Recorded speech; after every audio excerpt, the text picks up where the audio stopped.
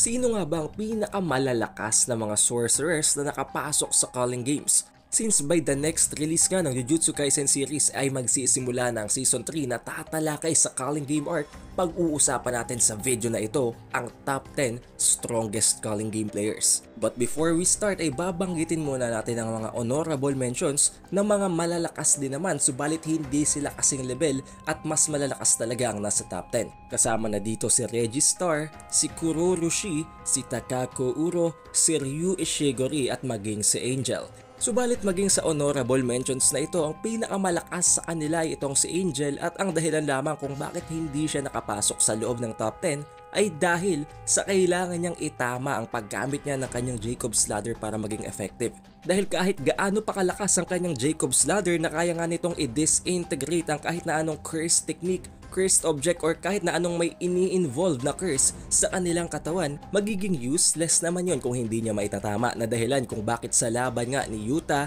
nitong si Rika at ni Yuji laban kay Sukuna ay kinailangan pa nilang hawakan itong si Sukuna para maitama nilang Jacob's Ladder which will never be effective sa lahat ng nasa loob ng top 10 na mga sorcerers dahil napakadali nung iwasan except na lamang kung may mag-hold down sa kanila para hindi sila makagalaw. Ngayon naman ay mag-proceed na tayo sa main event at pag-usapan na natin ang top 10 strongest calling game players. Number 10 on the spot ay si Yuji Itadori. Ang current Yuji Itadori ngayon ay may kakayahan na mag-blood manipulate at kaya na din niyang in-nerf ang kanyang mga kalaban over time. Sa pamamagitan ng kanyang Soul Punch ay kaya niyang bawasan ng bawasan ang output ng kanyang kalaban habang tinatamaan niya ito ng kanyang mga atake. Not to mention his Soul Swap technique na hindi pa niya naipapakita sa laban kay Sukuna pero nagawa niya ng i-flex ng mangyaring training arc kay Kusakabe. As for his durability naman, na-retain pa rin yun ni Yuji Itadori pero may additional pa ngayon na reversed curse technique na mas nagpapa-UP sa kanya, deserving the title as one of the top 10 strongest sorcerer ngayon. Number 9 on the spot naman is the Lucky Immortal Hakari Kinji. Ngayon maraming magtataka bakit mas malakas pa itong si Hakari kumpara kay Yuji. Oo, mas madami nang nasa arsenal ni Yuji ngayon na pwede niyang gamitin sa laban. Pero kung pagtatapatin ng dalawang ito, hindi nakakapagtakang mananalo pa rin itong si Hakari. Dahil itong si Hakari ay para bang ang improved version lamang nitong si Yuji. And hindi ko naman masasabing napakalayo ng gap. Pero at least, in the very least, mas malakas pa rin si Hakari kumpara kay Yuji.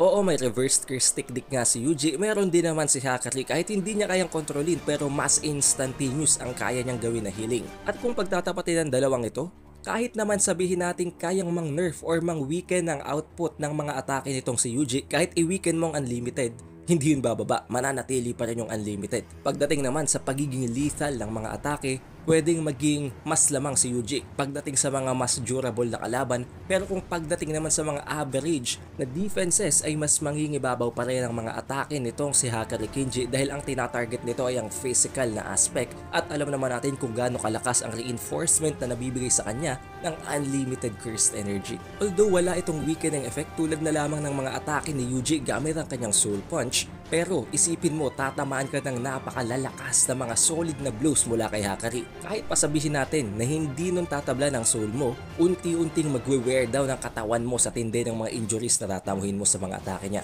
Taking number 8 on the spot naman ay si Yorozu. Gamit ang kanyang curse technique na construction ay kaya niyang mag-create ng kahit na anong bagay na alam niya kung ano ang build-up. Na dahilan kung bakit kaya nga niyang mag-create ng insect wings nakapag-create siya ng napakalakas na armor na ginamit niya laban kay Meguna na tinatawag niya ng insect armor na naggamit niya para talunin ang Five Void Generals. Isang grupo na halos kasing lakas ng pinamumunuan na grupo ni Uro Takako na ang Sun and Moon Squad.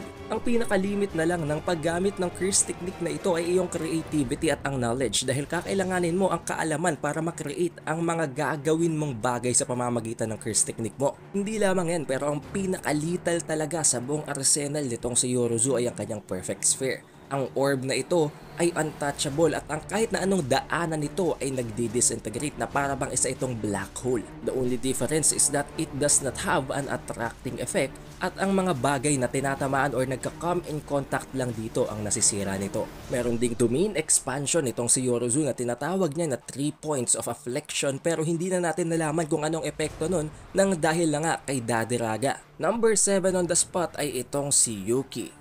Hindi na nakakapagtaka na nakapasok si Yuki sa top 10 dahil isa nga siya sa apat na confirmed na special grade sa loob ng Japan. Ang kanyang curse technique na Bombaye or Wrath of the Stars ay nagbibigay sa kanya ng abilidad na i-alter or dagdagan ang mass ng kanyang atake at ng kanyang sariling katawan. At mas naging OP pa ito nang dahil sa kanyang Shikigami na si Garuda na nagbibigay ng parabang extension ng kanyang curse technique, nagbibigay sa kanya ng abilidad na bigyan din ng additional mass itong si Garuda kahit na sabihin pa nating malayo or long range ang gagawin niyang atake. Sa pamamagitan ng kanyang Wrath of the Stars ay naide-deny ng kanyang mga atake ang law of physics na dahilan kung bakit kahit na anong gawin ng mga defenses or kahit gaano pa ka-durable ang kanyang kalaban kapag nilagyan niya ng napakataas na amount ng mass itong si Garuda or ang kanyang mga atake eh mawawala ng silbi ang kanilang durability. Meron ding reverse curse technique itong si Yuki, meron din siyang simple domain at meron din siyang domain expansion subalit hindi din natin yung nakita nang dahil lang nga sa mas pinili niyang gamitin ang simple domain laban kay Kenjaku. Maging sa pagkamatay nitong si Yuki ay nakapag-iwan siya ng kanyang final attack na nag-create ng isang black hole na nasabi nga nitong si Kenjaku na kung hindi niya napigilan ay pwedeng masira at lamunin nito ang buong planeta. Picking number 6 on the spot ay si Hiromi Higuruma. Alam naman natin kung gaano ka-OP ang curse technique nitong si Hiromi Higuruma kapag napatawan ka ng death sentence, magkakaroon siya ng executioner sword, makukuha niya and mako-confiscate niya ang curse technique mo, meaning para bang pinaglalaroan ka na lang niya at wala kang magagawa. Paano ka papalag kung isa kang sorcerer at wala kang curse technique kung hindi ka naman si Yuji Itadori? At ang pinaka nakakatakot pa dyan ang kahit na konting galos na matatamo mo mula sa executioner sword ay instantly papatay sa'yo. Si Hiromi Higuruma ay meron ding reverse curse technique at ang pinaka nakakatakot sa lahat, marunong din siyang gumamit ng domain amplification habang ginagamit pa rin ng kanyang curse technique one at a time. Alam kong napaka-OP ni Hiromi Higuruma pero ang rason lamang kung bakit hindi siya nakapasok sa mas mataas pang ranking ay dahil sa magdedepende sa magiging trial kung gaano siya kalakas. Number 5 on the spot naman is the Knight of the Queen, Yuta Okutsu. Alam naman natin na si Yuta ang may pangalawa sa pinakamalakas at pinakamataas na cursed energy reserves sa buong verse. Lahat ng nagawa ng mga previous na nabanggit natin ng mga abilidad ay meron din siya dahil meron siyang curse technique na copy. So it does not matter kung anong curse technique mo, kapag nakita ka ni Yuta Okutsu, automatic meron din siya nun. Meron din siyang reverse curse technique at meron din siyang isa sa pinakamalakas na cursed spirit or Shikigami na ang Queen of Curses na si Rika. Subalit ang pinaka-UP talaga dito kay Yuta ay ang kanyang domain expansion. Sa loob ng domain expansion ni Yuta ay nagkakaroon ng napakadaming katana na ang bawat isa ay nag-i-imbue ng cursed technique mga curse technique na na-accumulate and na-copy niya all throughout his battle at hindi lamang yon nawawala ng kahit na anong kondisyon ang paggamit niya noon sa loob ng kanyang barrier technique na nangangahulugan na unlimitedly kaya kanyang spaman ng mga ataking yon. Hindi lamang yan at ang kanyang barrier ay meron ding sure hit effect na pwede niyang piliin mula sa kanyang mga na-accumulate na curse technique na para bang habang inaatake ka niya, may tumatama pa sa yung atake passively. At depende na lamang sa kung anong pipiliin niya na sure hit effect ng kanyang barrier kung magiging one tap ka ba o tatagal ka pa sa makikipaglaban sa kanya. Number 4 on the spot ay si Maki Zenin ang halimaw na walang cursed energy. Si Maki Zenin ay para bang ang version nitong si Toji Fushiguro but stronger. Na-reach niya na ang peak ng kanyang senses kung kaya naman dahilan kung bakit kaya niyang makita maging ang mga atake na sobrang bilis at hindi visible to the naked eye. Tulad na lamang ng world cutting slash itong si Sukuna. Hindi lamang yon ang kanyang strength, speed at ang lahat ng physical capabilities ay ang pinakamalakas at pinakamataas pagdating sa verse arguably except kay Sukuna. Ang lahat ng abilidad na ito ay mas na-amplify pa ng kanyang soul split katana or ng dragon bone dahil sa pamamagitan ng kanyang special grade na curse tool na ito ay nawawala ng kwenta ang durability at mismong soul ang kanyang tinatamaan. Dahil na din nga sa wala siyang amount ng cursed energy ay kaya niyang maglabas pasok sa loob ng mga barrier techniques nang hindi na detect nagbibigay sa kanya ng advantage na mang ambush ng kahit na sinong gumagamit ng kanyang domain expansion except for Sukuna, of course. Taking number 3 on the spot naman ay ang Lightning God or ang strongest 400 years ago na si Kashimo Hajime. Don't be confused, Ang version ng Kashimo Hajime na nagtetik ng number 3 spot ay ang Kashimo Hajime na gumagamit ng kanyang curse technique.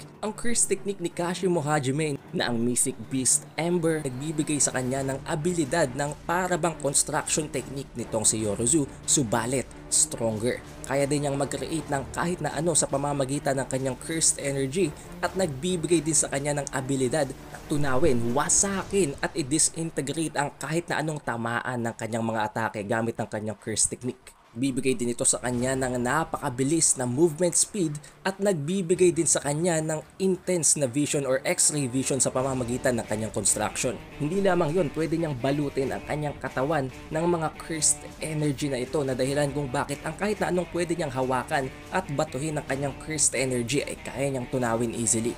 Ang natatanging rason lamang kung bakit siya natalo ay dahil lang nga ang kalaban niya ay ang King of Curses na mayroong World Cutting Slash. Pero for the main reason nga na magagamit niya lamang ang curse technique niya na ito ay laban kay Sukuna, ito ay magiging isang napakalaking impact sa ranking na pwedeng pumunta siya sa lower rank dito sa ranking natin at pwede din siyang maarating dito sa upper rank depende sa magiging kalaban niya. Number 2 on the spot is Kenjaku.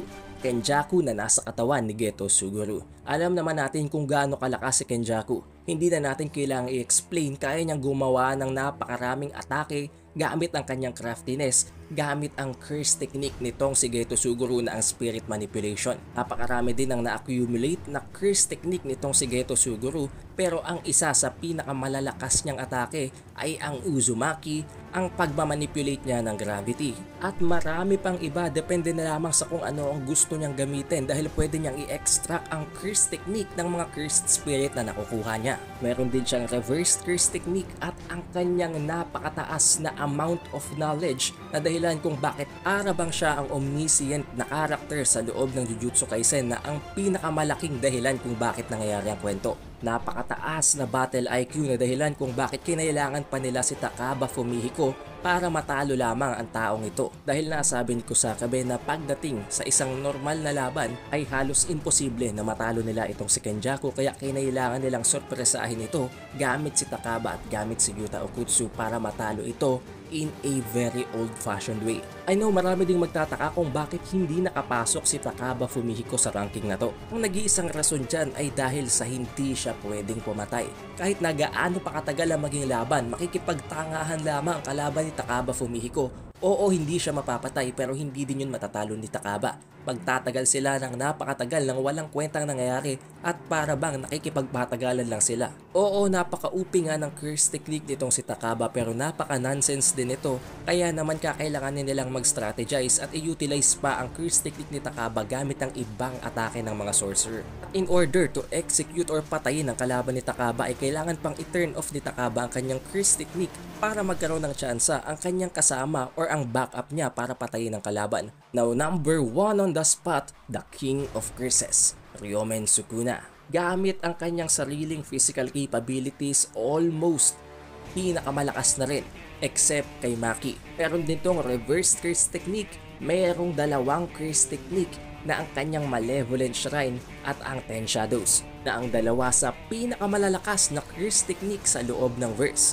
Not to mention his durability, tinamaan na ang puso, naputol na ang kamay, tinadtad na ng mga atake ng soul punch nitong si Yuji Itadori still surviving at pinatumba pa si Maki gamit ang isang black flash. Pamamagitan ng Ten Shadows, pwede niyang gamitin ang amplified na mga Shikigamis especially si Mahoraga kaya din niyang gamitin ang kanyang world cutting slash para i-penetrate maging ang infinity ni Gojo Satoru at ng kahit na ano dahil mismong dimension ang hinahati nito. Napakarami pa ding hindi pa na-reveal na sekreto nitong si Ryomen Sukuna tulad na lamang ng kanyang fuga or ng black box. Hindi pa din niya ginagamit ang complete na domain expansion ng Ten Shadows technique na ang Chimera Shadow Garden. At tulad na nga ng sinabi ni Uraome, even up to this point, hindi pa nagseseryoso si Sukuna. Now there you go, top 10 strongest calling game players. Maaring itanong nyo bakit hindi kasama si Gojo, bakit hindi kasama si Uraume, bakit hindi kasama si Megumi Fushiguro. First of all, si Ura Ume ay hindi nasama sa pagiging player at nabanggit din itong si Kenjaku na ang para bang in-include niya lamang sa ginawa niyang rule ay ang katawan niya at ang katawan nitong si Sukuna. As for Megumi Fushiguro naman, oo siya nga ang player pero mas inilagay na natin ang pagiging player kay Ryomen Sukuna dahil si Ryomen Sukuna naman ang gumagamit ng kanyang katawan at nagpapaka-sad boy ngayon si Megumi.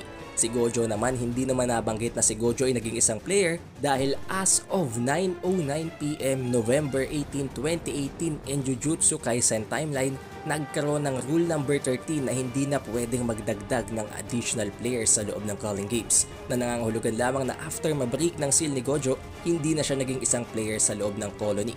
Kung meron pa kayong ideas, meron kayong ibang gustong baguhin sa ranking na ito, please put that in the comment section below para mapag-usapan pa natin. Tuloy-tuloy pa rin ang ating giveaways, panoodin at basahin nyo lamang kung paano ang mechanics and qualifications para maging isa sa lucky winners. Don't forget to leave a like, subscribe at i-ring mo na din ang bell button. Huwag mo kalimutang i-follow din ang ating Facebook page by the same name na Updated Weeb for more announcement and events na mangyayari sa ating community. It is the Updated Weeb and I'll see you on the next one.